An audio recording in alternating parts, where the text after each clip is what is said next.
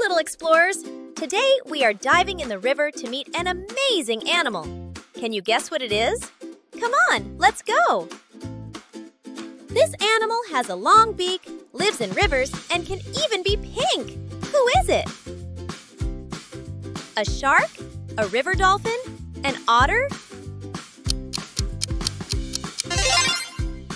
Yes, it's the river dolphin. River dolphins live in freshwater rivers, not the salty ocean.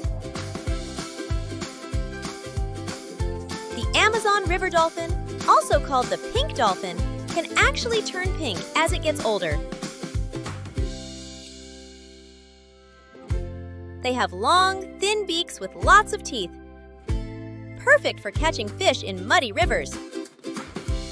River dolphins have small eyes and don't see very well.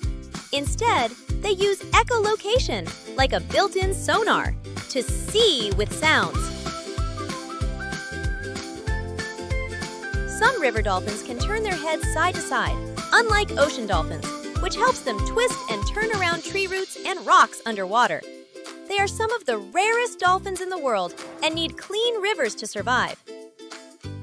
River dolphins are excellent swimmers, but they swim more slowly than ocean dolphins because rivers can be twisty and shallow. The Amazon river dolphin is a good friend to fishermen. It sometimes helps chase fish into nets.